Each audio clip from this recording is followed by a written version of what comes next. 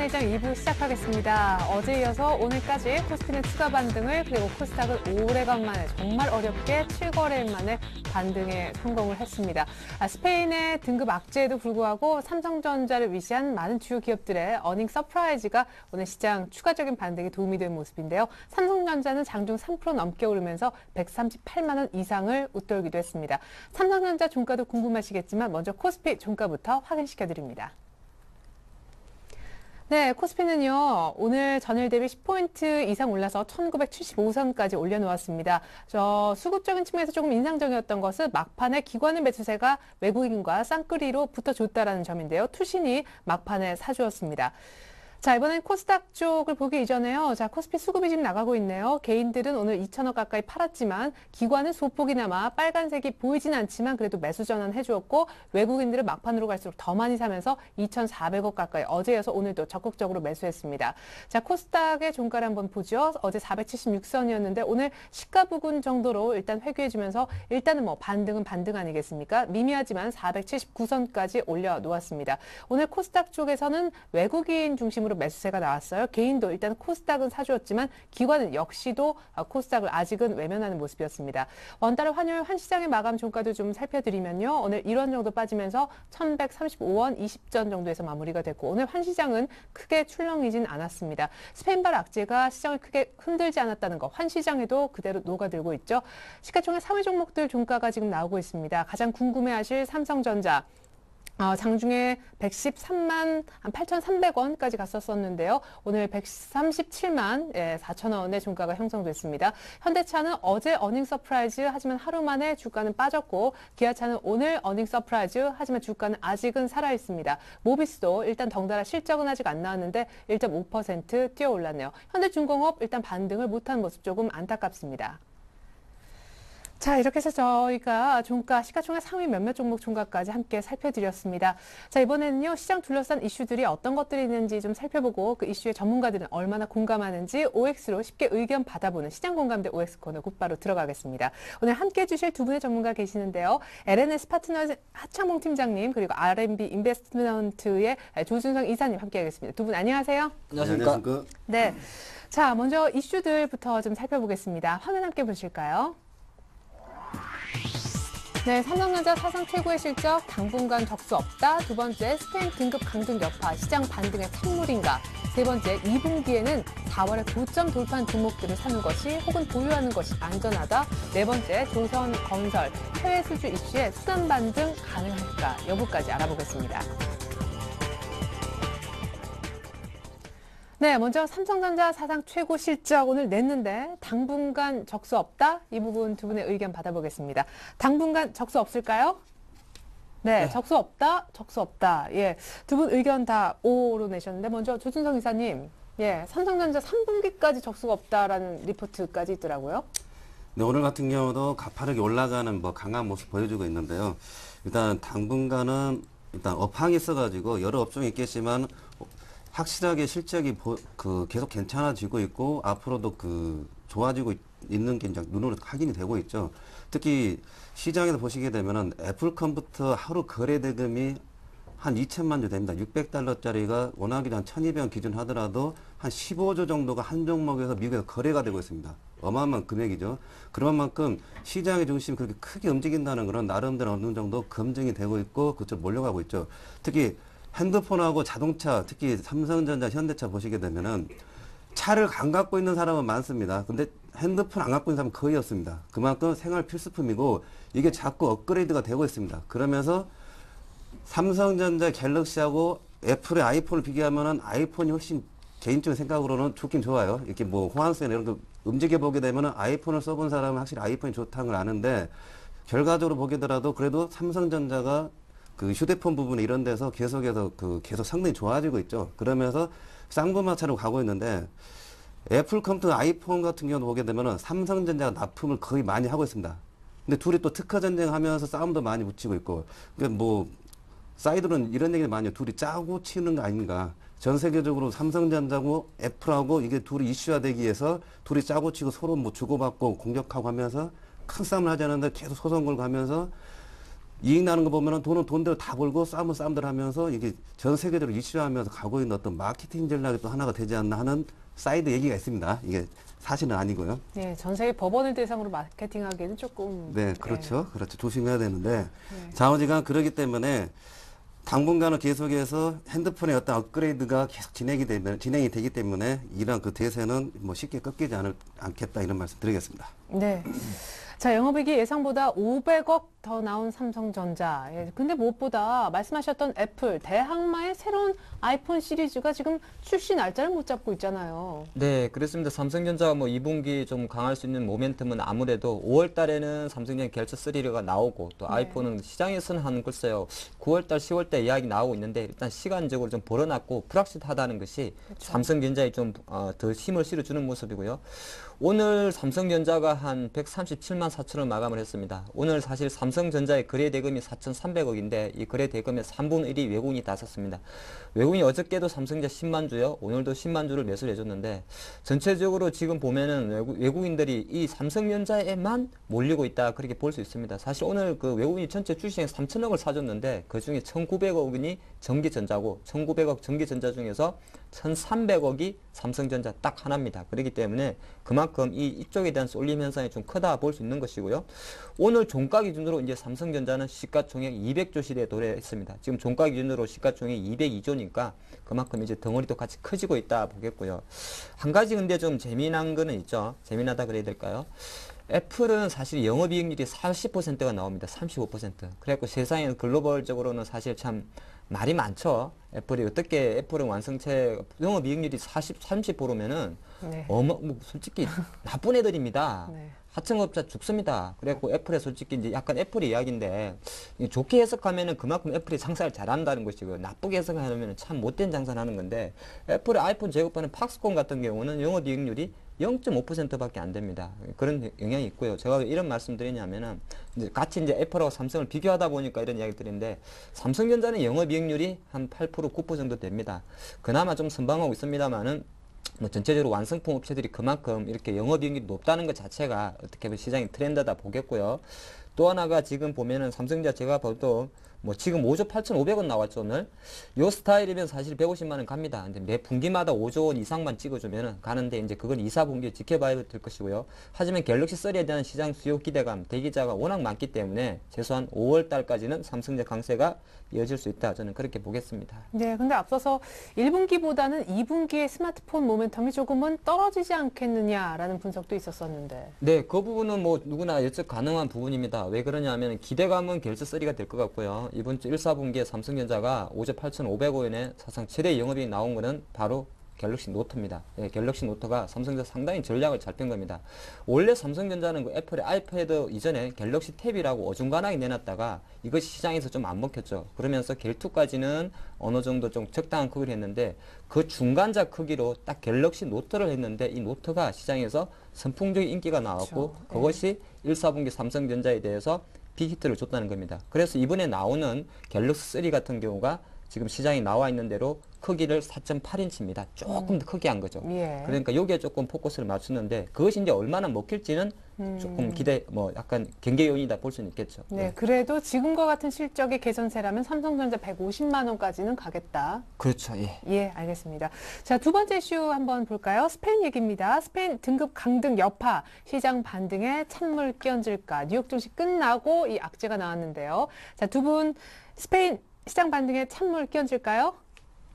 끼얹는다? 어, 끼얹지 않는다. 긍정적인 얘기를 저희 먼저 듣고 있습니다. 하 팀장님, 왜 그렇게 보십니까? 사실 이제 좀 오늘 같은 장도 저는 시장이 좀 전강 후약 생각을 했습니다. 이게 왜냐 면 미국 장 마감하고 나왔기 때문에 그 부분이 있는데 일단은 사실 이제 오늘 스페인이 S&P에서 어, 스페인의 신용 등급을 기존 A에서 어, 트리플 B 플러스로 2단계 강등을 했습니다. 또 뭐 뭐 등급 전망에 대해서도 부정적 의견을 제시했기 때문에 또 내려갈 수 있는데 사실 스페인 같은 경우는 1월 달에 한번 또 S&P 등급을 강등한 적이 있습니다. 그리고 한 2, 3개월 만에 다시 강등을 했는데 일단 이렇게 보는 게 어떨까 싶습니다. 물론 지금 계속적으로 이 4월 접어들어서 가장 중요한 것이 스페인 증시가 어느 정도 시장에 부담을 계속 주고 있다는 겁니다. 왜 그러냐면은 아, 스페인 같은 경우는 그 스페인 국채를 가장 많이 은행권 익스포저가 가장 많은 나라가 독일입니다. 독일, 프랑스. 그러니까 그리스가 그리스, 그리스는 이제 거의 물 건너 갔고 스페인까지 만약에 계속적으로 안 좋은 상황으로 가면 그것이 어, 유럽 위기가 완전 확산되기 때문에 이 부분이 좀 되는데 제가 생각할 때는 이제 일단은 미국 증시 같은 경우가 어제 기준으로 다우지수가 13,000선을 좀 지지하고 있고 S&P 지수가 1,400포인트, 나스닥이 3,000선까지 온, 온 상황이 있기 때문에 이 흐름을 좀 되돌리기는 좀 어려울 거라 보고요. 스페인 증시 같은 경우는 잠깐 지금 보겠는데 사실은 스페인 증시는 제가 볼 때도 이거는 거의 뭐 리만 사태보다 밑에 나 있습니다. 지금 스페인 증시 IBEX 35 어, 월봉 지수를 보고 계신데요. 예. 뭐 지수 보면 7천선 아닙니까? 그러면 옛날에 2008년도 리만 사태보다 저점 내려간 거죠. 뭐 그리스 상- 증시도 사실은 이 상태입니다. 그래서 제가 판단하는 거는 어차피 스페인에 대한 시종 등급 강등은 시장에 이미 나와 있었지 않나 그렇게 보는 것이고요. 그래서 충격은 없다 볼 것이고 오히려 시장은 스페인보다도 역시나 5월 6일 날 예상되는 어, 프랑스와 그리스의 총선에 대선이겠죠. 대선에 오히려 더 어, 경계를 하지 않을까 그렇게 보겠습니다. 예, 스페인보다도 5월 초에 있을 정치적인 그 선거 이슈가 더 크게 시장에 영향을 줄 것이다. 아까 그래도 스페인도 신경 쓰인다라는 입장이시죠? 네, 제가 스페인 같은 경우는 계속해서 누누이 말씀드리는데 그래서 큰 악재이고 이걸 잘 이용해 가지고 종목들 좋은 종목들 눌림목을 잘 이용해야 된다 그런 전략으로 말씀을 드립니다. 네. 스페인 지금 일봉상 보게 되면은 스페인 지수 아까 보셨겠지만은 위치는 다르지만은 우리나라 종합 주가에서 모양새 캔들은 비슷합니다. 스페인 같은 경우는 3월 21일 날 8,500 찍고 엊그제 7,000 깨지면서 최저점이 나오고 이틀간 반등이 들어왔죠. 우리 같은 경우 그러면서 5일선을 이제 한 달만 5일선 이제 이제 캔들이 한번 머리를 들어 올린 상태입니다. 그리고 우리나라 같은 경우도 5일선을 이제 살짝 올려놨죠. 양봉으로 올려놨고 모양새는 비슷하죠. 그러면 스페인이나 이런 쪽이 아니었으면은 2천선을 회복을 했을 건데 이러한 적들이 그 유럽 쪽에 이제 여러한 그 잡고 있는 거죠. 그리고 어제까지 외국인들이 매도가 나왔습니다. 그리고 오늘 매수가 들어왔는데 미국 시장 이렇게 3일 연속 상승을 강하게 보여줘야지 그거 확인하고 들어오는 약한 어떤 국내에 들어와 있는 외국인의 어떤 수급 동향도 잘 보셔야겠죠. 그래서 큰 틀에 있어가지고는 유로존 문제는 큰 악재이면서 그걸 잘 이용해가지고 어떤 좋은 종목들을 싸게 살 수 있는 기회로 이제 잘 전략을 잘 세워야 됩니다. 그렇기 때문에 스페인 등급이 어떤 뭐 신용 등급에 써가지고 이런 건 다 이견돼 있는 일이고 앞으로 이제 추가적인 어떤 정치적인 문제도 그렇고 계속해서 어떤 문제 나오는 데 있어서는 당분간 좀 힘들지 않을까 그렇기 때문에 그런 전략들을 잘 세워야 된다 그 말씀을 드리겠습니다. 예, 알겠습니다. 자, 이번에는요, 세 번째 이슈로 넘어가 보겠습니다. 2분기에는 4월, 5월, 6월에는 4월 고점을 돌파한 종목들이 안전하다? 자, 들어주시죠. 안전하다, 안전하다. 예, 먼저 조준성 이사님. 예, 네. 아까 앞서서 뭐 일부에서 청송촌놈 신창한 대표님은 오히려 주봉상 저점을 찍고 있는 종목이 살 네. 뭐 네. 이런 저점 매수 관점에서 그런 의견 완전 반대네요. 일단은 이제 올라간 거에 대한 어떤 그 조정에 대한 어떤 두려움도 있는 거죠. 그러면서 아예 시장은 어느 정도 지수는 안정적인데 종목들이 거기에 비해 가지고 20% 하락했던 종목들도 이제 가는 것도 뭐 나쁘진 않은 것 같습니다. 대신에 그쪽에 확률에 있어가지고는 10개 찍어서 한 두세 개를 이제 건질 수 있고 이쪽 종목 같은 경우는 물리더라도 다시 원금을 회복한다든지 아니면은 좀 더 1, 2% 3%더 거기 먹을 수 있는 가능성이 10개 찍으면 7개 정도 나온다는 그런 그 차이가 있는 거죠. 그야말로 안전한 쪽이네요.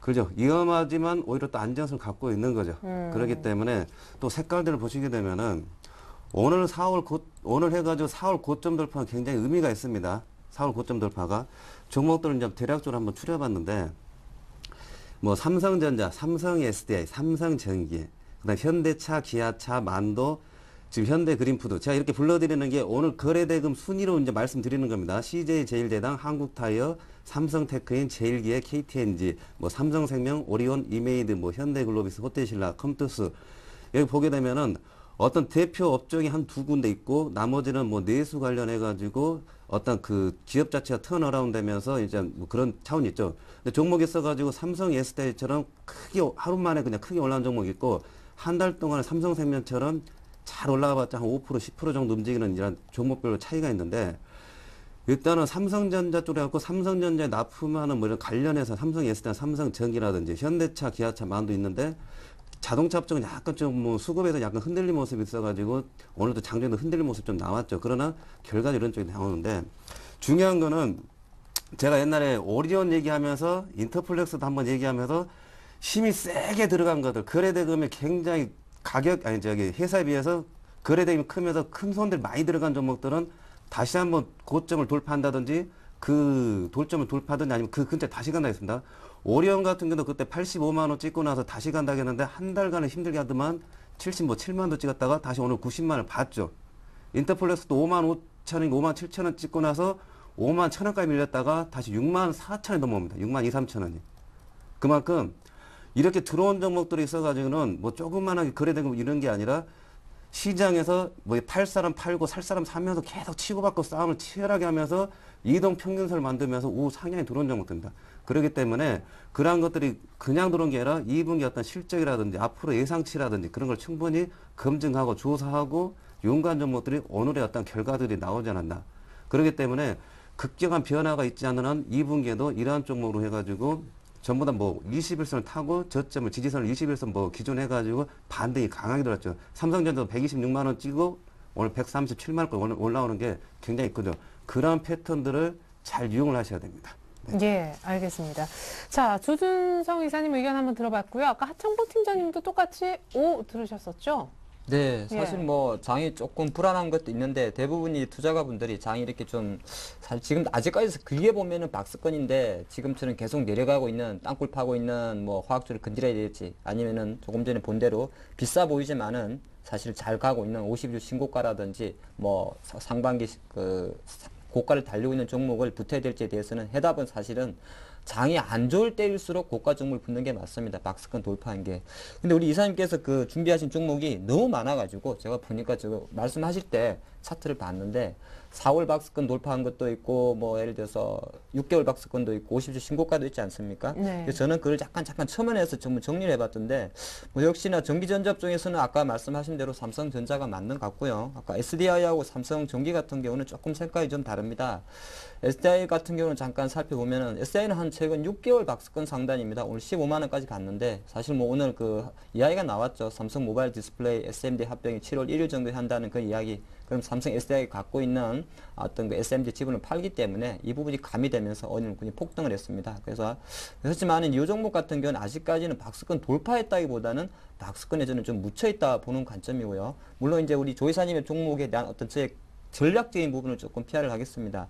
그리고 조금 전에 말씀하신 것 중에서 보험주, 삼성생명.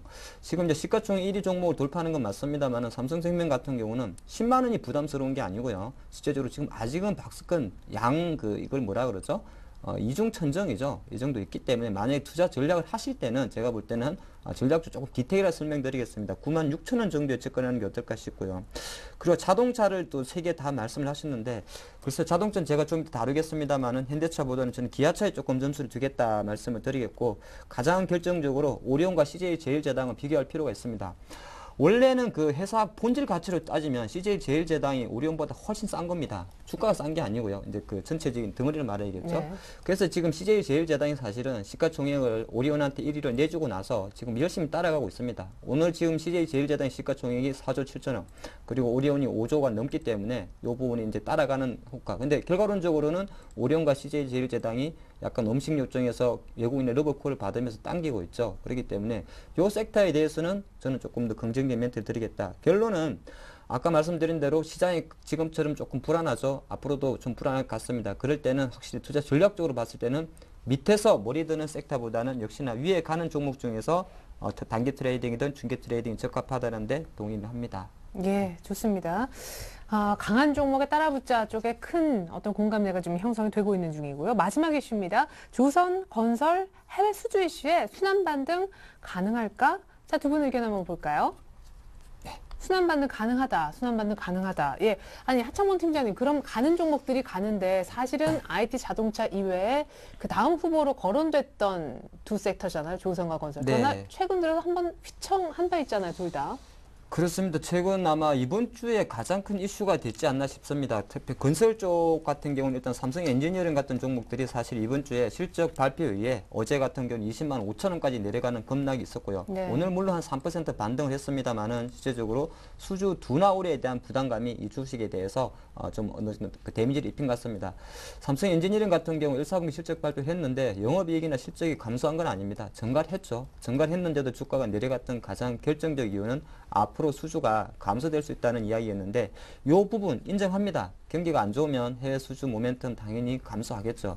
하지만은 실제적으로 국내 뭐 정시 같은 경우 이그 대형 건설사 같은 경우는 아, 삼성 엔지니어나 삼성 물산, 어, 삼성 그 현대, 삼성 중공업이나 이런 종목들은 해양 플랜트에 대한 부분이 많은 그 비중을 갖고 있습니다. 그래 그 부분이 어느 정도 새로운 돌파가 될 것이다. 그리고 결과론적으로 1, 4분기 실적이 안 좋았던 게 아니라는 것이 오히려 핵심이 될 것 같고요.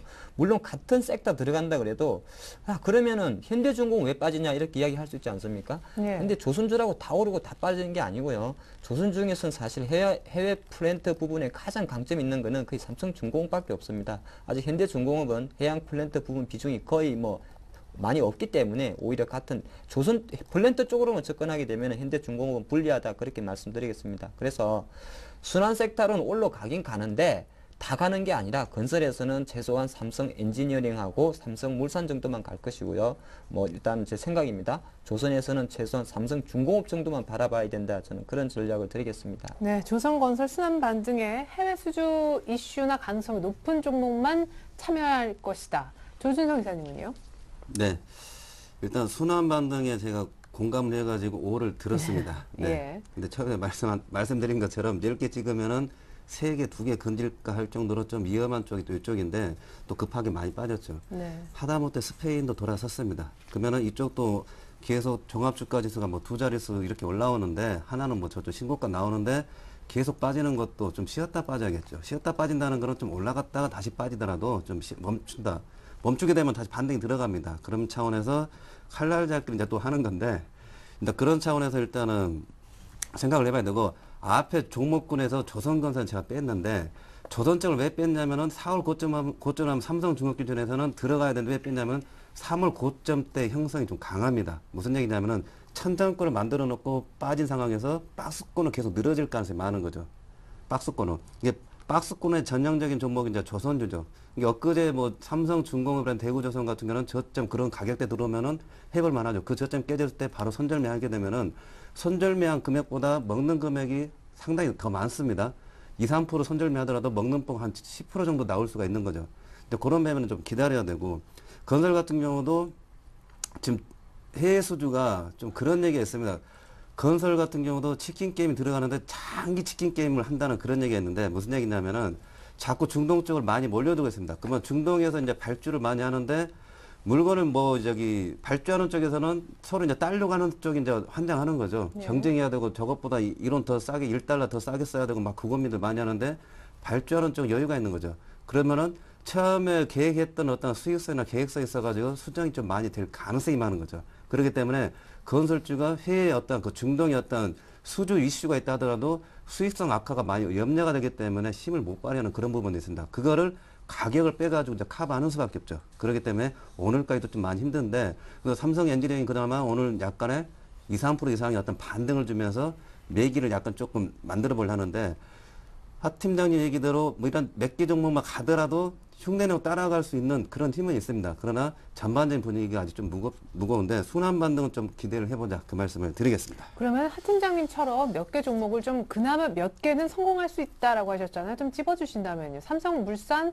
엔지니어링 그리고 삼성중공업 다 삼성자 들어가는 공급하셨네. 이렇게 세 종목 얘기하셨는데요. 네, 저는 삼성중공업, 대우조선, 그 다음에 삼성엔지니어, 대림산업 이렇게 말씀을 드리겠습니다. 네. 대림산업. 예, 네, 좋습니다. 그러면 삼성중공업과 대우조선해양 그리고 삼성엔지니어링, 대림산업. 네, 저점 예. 공략을 잘 하시면은 플러스권에 절대 들어가는 게 아니라 칼날 쪽으로 생각을 하시기를 바랍니다. 예, 알겠습니다. 자, 이렇게 해서 두 분의 전문가와 함께 시장 공감대 알아봤습니다.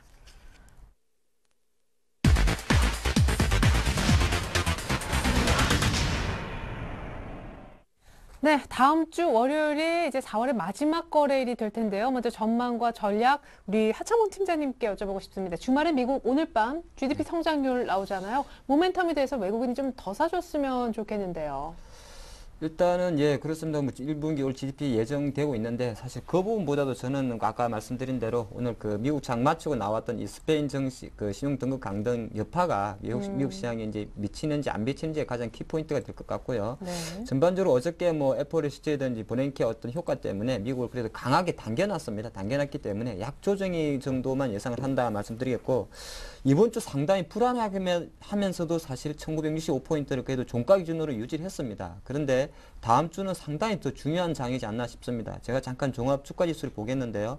차트를 잠깐 보시면 자, 우리가 보통 물론 삼성전자가 장을 시가총 200조를 가면서 좀 지수를 회복시키는 거 있습니다만 그래도 그것도 시장이기 때문에 그대로 분석을 하면 사음을 초순에 1965포인트를 형성하고 나서 한 달 반 정도 박스권이죠. 그러니까 지금 위치하고 있는 이번 주 특히나 1965포인트 예선의 어떤 지지선이 상당히 중요한 겁니다.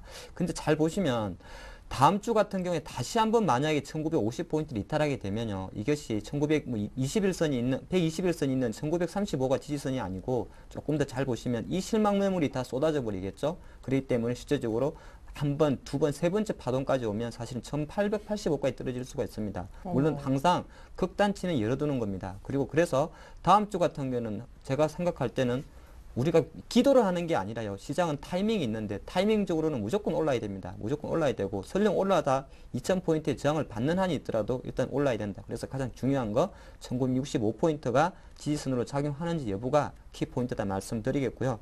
잠깐 뭐 시장으로 가게 되면 은 역시나 다음 주 같은 경우도 삼성전자가 오늘도 그 신고가를 달려오고 있었습니다만은 삼성전자의 어떤 그 강세, 글쎄요, 오늘 워낙 많이 오른 것 때문에 조금 실수는 있겠습니다만은 삼성전자가 요새는 개별주처럼 움직입니다. 개별주라는 것이 가볍게 움직인다는 거죠. 외국인들이 아까 말씀드린 대로 1,300억을 들이대면서 한 3% 옮기기 때문에 상당히 가볍게 움직인다는 거. 그래서 삼성전자 역시나 추가적인 상승이나 조정에 대해서 생각을 하는데 뭐 조정 아마 조정폭이 좁으면은 바로 매수가 신규 매수가 붙을 거기 때문에 조정폭이 조금 짧을 것이다 말씀드리겠고요.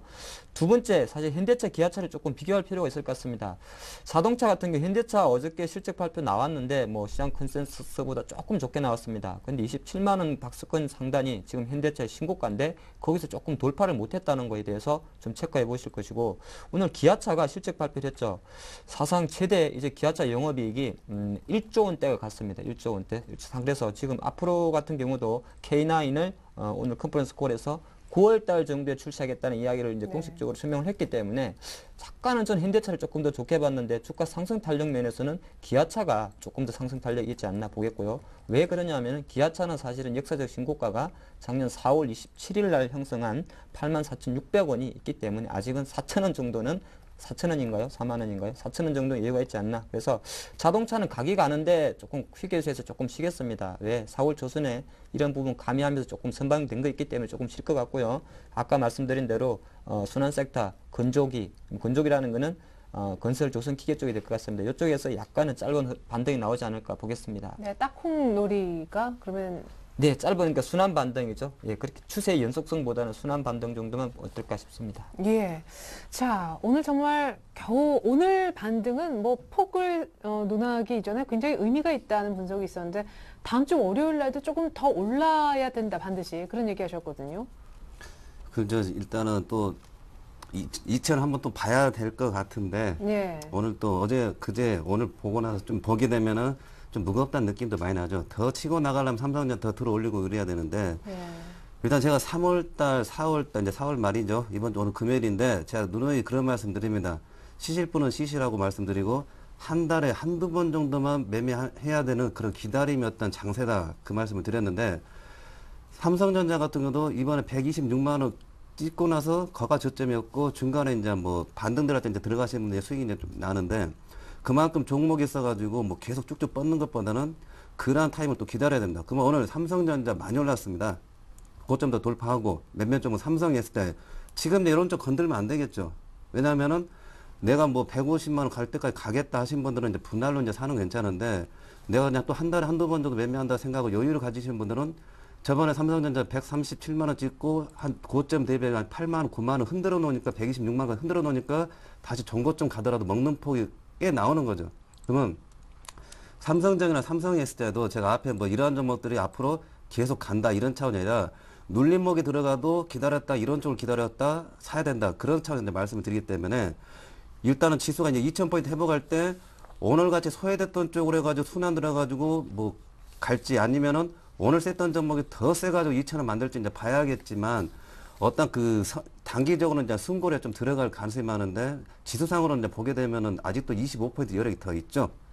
있기 때문에 약간 상승 기대감이 있지만 너무 이제 삼성이 했을 때니까 이제 뭐 오늘처럼 플러스 8% 7%는 적기 때문에 그런 쪽보다는 좀 눌림을 기다려야 된다. 그리고 대체적으로 시장에 써가지고는 앞에 말씀드렸듯이 유럽 발악질 이런 악재가 나왔을 때 이러한 종목들을 좀 기다리면서 천천히 해보자 그 말씀을 드리겠습니다. 네.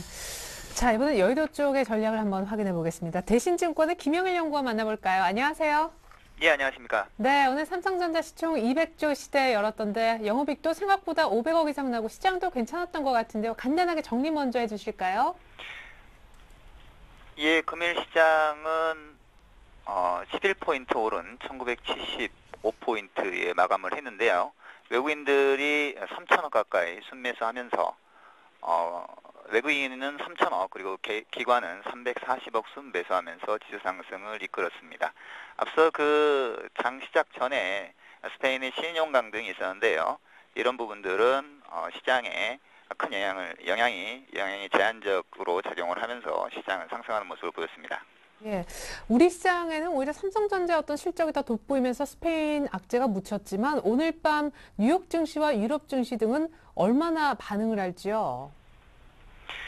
이 금일 그 S&P에서 그 스페인의 재정 적자 확대와 경기 침체로 국가 신용 등급을 두 단계 하향 조정을 했습니다. 네. 이는 그 지난 1월 두 단계 강등 이후에 두 번째인데요. 하지만 그 시장에서는 그 예정된 수순이었다는 점, 그리고 그 이외에 그 유로 달러가 안정세를 보이고 있다는 점, 마지막으로 그 10년물 만기 스페인 국채 금리 역시 안정세를 보이고 있어서 전체적으로 글로벌 마켓의 영향은 다소 제한적일 것으로 예상이 됩니다. 예, 그렇군요. 근데 아, 외국인들이 월요일 날도 사줘야 시장이 조금 더 갈 텐데 어떻게 보십니까? 일시적인 매수다 이런 분석도 있었거든요. 어제 오늘 꽤 많이 좀 사줬던 것 같은데요. 예, 그렇습니다. 그 지난주 외국인은 코스피에서 8,300억 원을 순매도했고요. 금주 초반에도 역시 매도세를 이어갔었습니다. 하지만 주 후반 이후에 그 스페인 이슈가 어, 클라이막스를 지나면서 매수 전환을 하는 모습을 보이고 있습니다. 예, 지난주에 외국인 매도는 어, 순 매도를 보였던 것은 어, 매수의 약화 때문으로 해석이 되는데요. 매수보다 그 순 매, 매도가 증가하면서 순매수 규모가 감소한 게 아니고요. 매수 약화 때문에 발생을 했었기 때문에 이런 부분들 그 외국인의 어, 매수 강도가 강해지는 시점이 아마 지수 상승을 이끄는 어, 요인이 될 것으로 보이고요. 기관들 쪽에서는 최근 주식형 수익증권의 환매가 감소를 하, 고 있는 상황입니다. 그렇기 때문에 기관 쪽의 매도는 다소 잠잠해질 가능성이 크지만 매수 여력 또한 크지 않다. 그렇기 때문에 외국인 코스피의 추가 상승을 위해서는 외국인의 그 추세적인 매수가 동반돼야 할 것으로 예상이 됩니다. 예, 그렇군요. 외국인들의 수급과 연관돼 있는 5월 변수, 아무래도 유럽 선거 초반에 있는 그 일정들이 아닐까 싶긴 한데요. 5월 증시 전망 부탁드리겠습니다. 쏠림 현상이 좀 완화가 될까요? 5월에는요? 예, 5월에는 유난히 지금 시장에 이벤트가 많은 상태입니다. 그 코스피 역시 시장의 그 이벤트에 영향을 받을 것으로 예상이 되는데요. 어, 월 초반에는 그 미국의 ISM 제조업 지수 그리고 재무장관 회의 그리고 6일에는 프랑스 2차 대선 투표가 있고요. 월 중반에는 11일에 중국 소비자 물가와 그 통화량 발표 그리고 15일에 유로존의 GDP 발표가 있고요. 그리고 17일에는 미국의 4월 경기 선행 지수가 발표가 예정이 되어 있습니다. 전체적으로 그 5월의 이벤트를 살펴보게 되면은 5월 주가 경로는 대략 정강 후약의 어, 변동성 장세가 예상이 됩니다. 그 월 초반에는 어, 이런 악재가 일시에 반영된 유럽에 대한 그 불확실성의 해소 그리고 4월 말에서 5월 초로 이어지는 미국의 지표에 대한 기대감 그리고 5월 중순까지 5월 중순에 발생할 수 있는 중국의 지진율 인하, 인하와 4월 PMI 지표 개선 기대감으로 어, 코스피는 반등이 가능할 것으로 예상이 되지만 월 후반으로 갈수록 유럽의 그 정치적 불확실성과 경기 침체 리스크 그리고 미국 경제의 그 지표들의 감속 그리고 어, 은행 그리고 유럽 국가들에 대한 신용 등급 강등 이슈가 재차 불거질 수 있는 만큼 조금 그 조심하는 전략이 좀 필요하고요. 업종별로는 어, 기본적으로 그 코스피의 그 월 초반 반등을 선도할 수 있는 업종은 이익 안정성이 뛰어난 업종이 될 것으로 예상을 하고 있습니다. 전기전자 업종과 자동차 업종이 좀 이끌 것으로 예상을 하지만 그 유럽 리스크가 만약에 완화가 급하게 된다면 그 유럽 리스크 피해 업종이었던 산업재와 금융업종의 반등도 기대해 볼 수 있습니다. 그리고 월 중반에는 중국의 PMI와 지준율 인하 등이 어, 유효하다면은 중국 모멘텀이 발생할 경우에 이런 경우에는 소재 업종이라든지 기계 업종에 대한 단기적인 관심도 유효할 것으로 판단이 됩니다. 네, 초반 잘 보내고 중후반 중국과 유럽의 모멘텀이 좀 나오면 전반적인 낙폭 큰 섹터들의 회복 또한 가능하다는 분석이었네요. 지금까지 대신증권 김영일 연구원 전략 들어봤습니다. 5월 전망 감사합니다.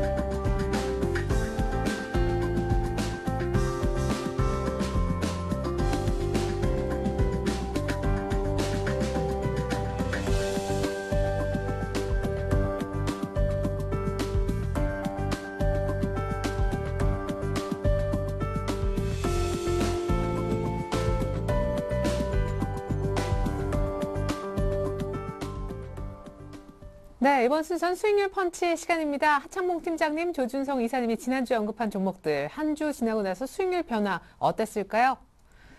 자, 누가 더 많이 수익을 냈을까요? 하창봉 팀장님의 대원 미디어냐 아니면 조준성 이사님의 삼성 테크인이냐 주간 고점으로 집계해본 결과입니다. 와, 6.4% 조준성 이사님의 승리군요. 축하드리겠습니다. 삼성 테크인 사실상 목표가에 500원 미달했지 거의 목표가에 왔고 그것도 오늘이라는 데 의미가 있네요. 근데 대형 주 치고 꾸준히 올라와가지고 다행이다 생각이 됩니다. 또 주중에 이제 단기적으로 이제 공략을 이제 이 시간에 공략을 해보는데 일단 세크인 같은 경우도 잠시 AS 해드리면은 요걸 좀 검증을 좀 해봐야 되는데 1분기 어떤 실적이 이제 우호적이다 이런 것까지 예측을 했는데 앞으로도 이게 추세로 뭐 7만원, 8만원 이런 추세가 나올 건가 해서가지고는 조금 더 연구를 좀 해봐야 될 것 같습니다. 이러한 종목 세타가 두산 인프라코입니다 또. 그렇기 때문에 뭐 지금 단기적으로는 주간 쪽으로는 괜찮게 봤고 반도체나 이런 쪽 괜찮기 때문에 봤고 근데 앞으로 어떤 그 장기 레이스에 있어서는 조금 더 연구한 다음에 말씀을 드리고 있고 단기적으로 공략하시는 분들은 뭐 적당히 이익 실현 하시는 것도 괜찮다 말씀을 드리겠습니다. 예, 좋습니다. 그나저나 하창범 팀장님 이렇게 되면 1승 했다가 곧바로 또 승기를 좀 뺏겼는데 대원 미디어 좀 아쉬워요. 뭐 그래도 많이 올랐어요.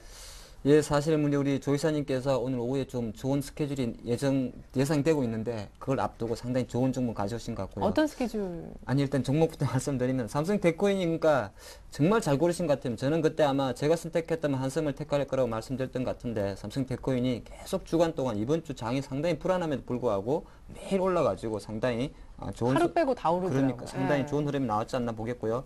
제가 사실 지난주에 대원 미디어하고 오리온을 겁없이 두 종목을 다 덤볐죠. 이 사람은 잘 나갈 때도 덤비면 안 된다는 것을 여실없이 보여줬고요.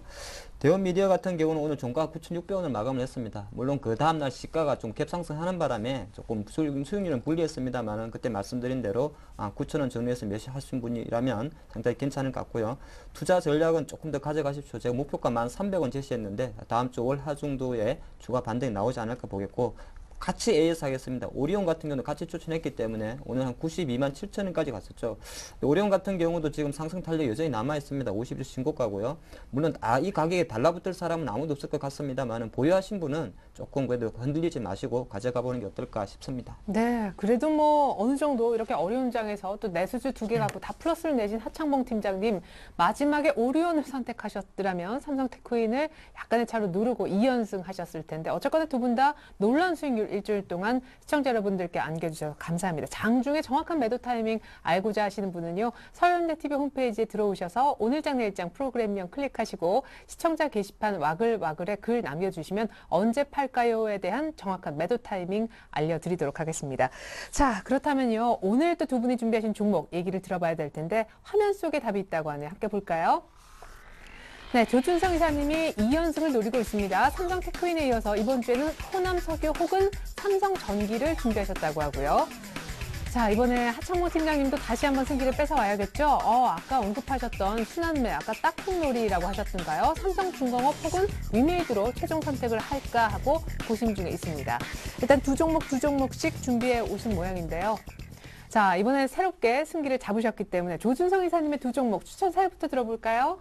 네, 오늘 가져온 종목은 좀 극단적으로 갖고 왔습니다.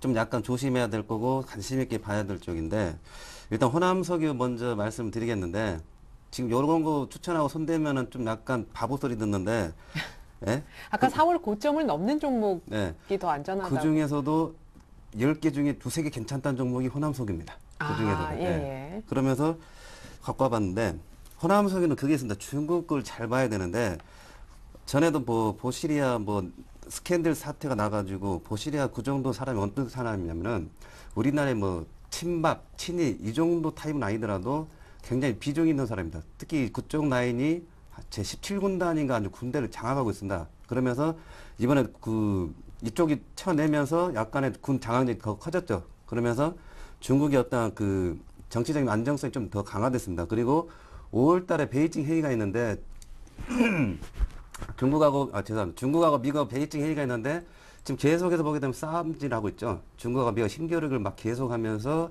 중국 경제는 뭐 크게 타격은 안 받더라도 좀 걱정은 된다 하면서 뭐 서로 카드는 안 꺼낼 것입니다. 그러면서 물밑 작업들 뭐 하고 있는데 일단은 호남석을 가져온 이유가 급하게 많이 떨어진다. 제가 지난주 금요일도 이슈에서 이런 얘기 드렸죠. 지난주 금요일 종가로 해가지고 LG화학이라든지 호남석이라든지 뭐 이런 금호석이라든지 이런 가격대 다시 밑으로 빠지게 되면은 먹는 구간이다 생각하고 반등 들어오면 이 가격은 다시 회복한다. 그러면 지금 빠지는 구간은 제가 먹는 구간이다 생각하고 이제 오늘 좀 말씀을 드리는데 또 오늘 급하게 많이 빠졌죠. 고점 대비해가지고.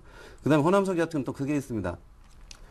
석유화학, 아니 화학업종의 중에서 저희 이제 회사에서 분석한 걸로 하게 되면은 삼성전자입니다. 화학업종에서는. 그래서 앞으로 화학업종에서는 호남석을 가장 눈여겨보자. 이런 말씀을 먼저 강하게 말씀드리겠고, 지금 찌글찌글 하더라도 지금 찌질인데, 지금 올해 같은 설비 투자 거의 끝나가면서 이제 내년부터는 해수가 들어가고 그 다음에 뭐 인도 문제도 뭐 있고 하는데 뭐 투자 문제 있는데 일단은 호남석유는 좀 안정권에 들어가겠습니다. 그러면서 중국이 만약 경제가 만약에 정책이 좋게 나온다 하면은 가장 큰 수혜주를 볼 회사가 호남석유라는 걸 잘 보셔야 됩니다. 이게 단기적으로 큰 문제 없이 경제가 돌아가면서 중국이 풀어주게 되면은 호남석유 쪽에서 대박이 날 가능성이 많습니다. 그러나 이거는 시간적으로 좀 봐야겠죠. 근데 앞서서도 중국에서 계속 뭔가 나올 거야, 나올 거야 하면서 지금 네. 4월 달에 20% 밀렸잖아요, 호남석유가.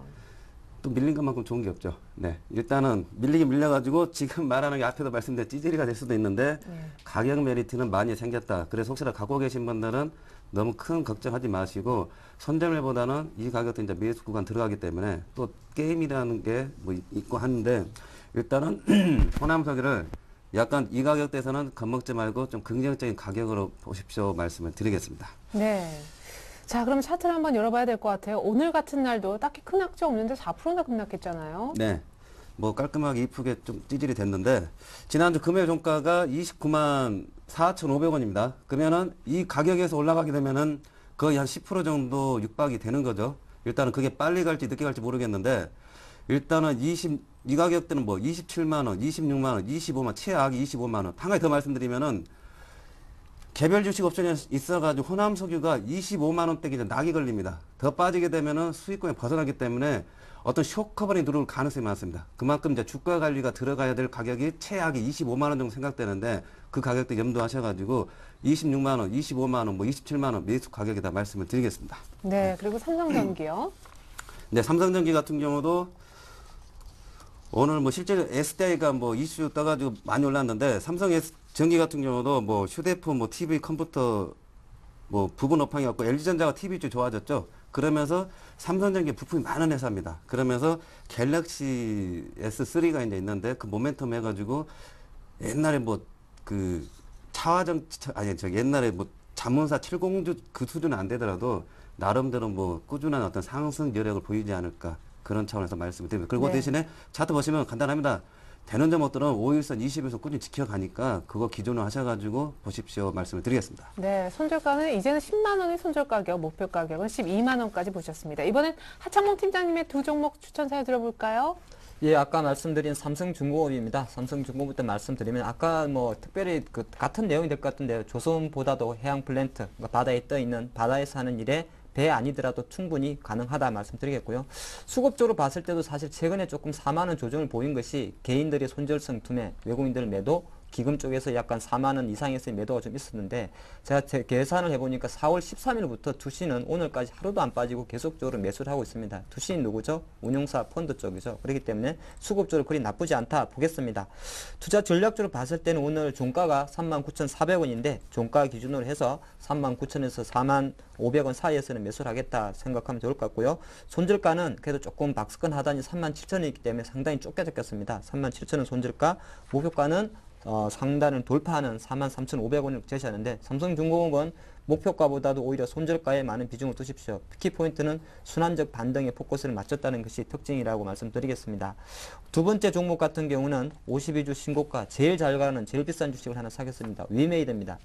위메이드 같은 경우가 오늘 실제적으로 10만 원대를 이제 올라갔죠. 오늘도 많이 올랐습니다. 시가총액 8,800까지 올라갔고요.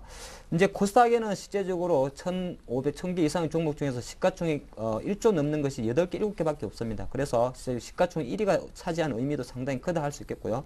위메이드는 오늘 아시겠지만은 국내 3천만 명의 회원을 보유한 카카오톡과 20여 종의 모바일 게임을 지용을 했습니다. 런칭을 하죠. 원래 위메이드는 미르의 전설을 one two 해가지고 모바일 게임을 많이 안 했었는데 앞으로 모바일 게임에 대해서 성장수로 어, 사업을 역량하기 때문에 위메이드가 이렇게 잘 간다 그런 말씀 드리겠고 투자 전략적으로는 이 종목 같은 경우는 약간은 그래도 제가 보수적으로 사겠습니다. 보통 흘러왔던 흐름이 있기 때문에 어, 10만 원 가격보다는 조금 내려왔을 때 98,500원, 10만 3천원 사이에서 매수를 할 것이고요. 약간은 그래도 손절가에 먼저 비중을 두겠습니다. 9만 원 손절가, 목표가는 시가총액 1조가 가면 얼마까지 갈까 계- 계산해 보니까 한 12만 원까지 오는 것 같습니다. 그래서 12만 원에서 1,000원 모자란 11만 9천 원까지 지켜보겠습니다. 네, 먼저 조준성 이사님, 호남 석유와 삼성 전기 가운데 최종 한 종목은요? 네, 저는 호남 석유를 하겠습니다. 예, 좋습니다. 우리 조준성 이사님은 호남 석유를 최종 선택을 해 주셨고요. 하창모 팀장님은요? 예, 삼성중공업을 하겠습니다. 아무래도 사- 그 시청자님이 제일 52주 신고가보다는 이런 거 좋아할 것 같습니다. 삼성중공업을 하겠습니다. 예, 좋습니다. 이렇게 해서 두 분 어떤 종목으로 압축됐으며 가격은 어떤지 정리해 드립니다. 자, 조준성 이사님은 호남 석유와 어, 전여달은 또 신고가를 내는 삼성 전기를 준비하셨었고 하창봉 팀장님은 삼성 중공업과 역시 신고가를 내는 위메이드를 준비하셨지만 두 분 다 신고가가 아닌 어, 하창봉 팀장님은 삼성 중공업을 그리고 조준성 이사님은 호남 석유로 최종 종목을 압축해 주셨습니다. 자, 가격 설명을 다시 한번 해드리면요. 조준성 이사님은 단기 급락의 가격 메리트가 부각됐기 때문에 25만 원의 손절가 잡고 호남 석유를 사보자라고 하셨고요. 하창봉 팀장님은요. 순환 반등 기대하면서 기관이 계속해서 사는 대원 미디어 간의 삼성 중공업을 언급을 하셨죠. 자, 삼성 중공업 가격은 맞는 것 같습니다. 손절 가격 3만 7천 원 염두에 두시고 4만 3천 원까지 한번 예, 기다려 보시면 좋을 것 같습니다. 네, 삼성 중공업이냐 호남석이냐 다음 주 시간 결과는 공개됩니다. 두 분 도움 말씀 고맙습니다. 네, 샘플러스 투자 전략 세미나가 바로 내일입니다. 하이투자증권 송파지점 내일 오후 2시부터 4시까지 있는데요. 시장이 알려주지 않는 비밀이라는 주제로 투자 전략 세미나가 개최가 된다고 합니다. 참가비 없으니까 많은 참여 부탁드리겠고요. 샘플러스 개편 대박 이벤트도 있습니다. 50% 할인 이벤트가 있는데 4월 안에 신청하신다면은 전문가 방송을 3개월 가격에 6개월 동안 이용하실 수 있다고 합니다. 플러스.센티비.co.kr 참조하시면 좋겠습니다. 전 다음 주 4월 마지막 거래일에 다시 오겠습니다. 고맙 있습니다.